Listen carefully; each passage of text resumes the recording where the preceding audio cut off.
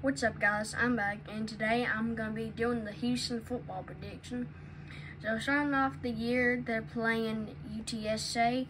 I think it'll be a close game like last year, but I think UTSA will pull out the win this time. Next is at Rice. Well, Rice, they're pretty bad last year. They lost eight games, so I have Houston win this. Next is TCU. Well, TCU, they went to the national championship last year, even though they lost a lot of talent like Max Duggan to the draft, so I think that at TCU will win this football game anyways. And next is Sam Houston. Well, Sam Houston, I think they're moving up to the FBS level.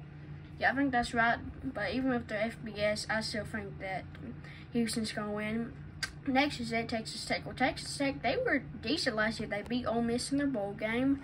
And Ole Miss, they were good. They almost beat Alabama. But I think that Houston will uh, probably lose this one. Here, let's get this.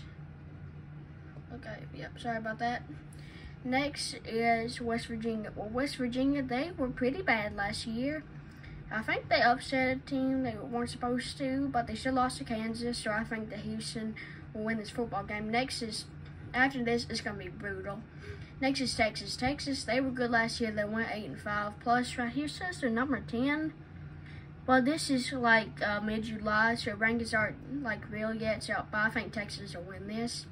Next is Kansas at Kansas State. Well, Kansas State, they won the Big 12 last year. They were pretty good. They beat TCU, who go to playoffs. So I think the Kansas State will win this.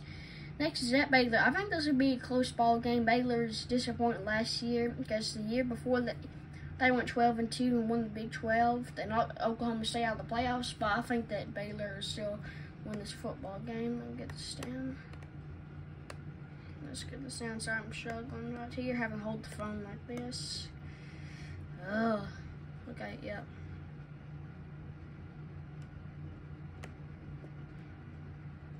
Sorry about this technical difficulties. Okay, yep. Sorry, got that. So next is Cincinnati. Cincinnati they went nine and four last year. They lost the bowl game to Louisville, which they did get ten wins. But I think Cincinnati will win this.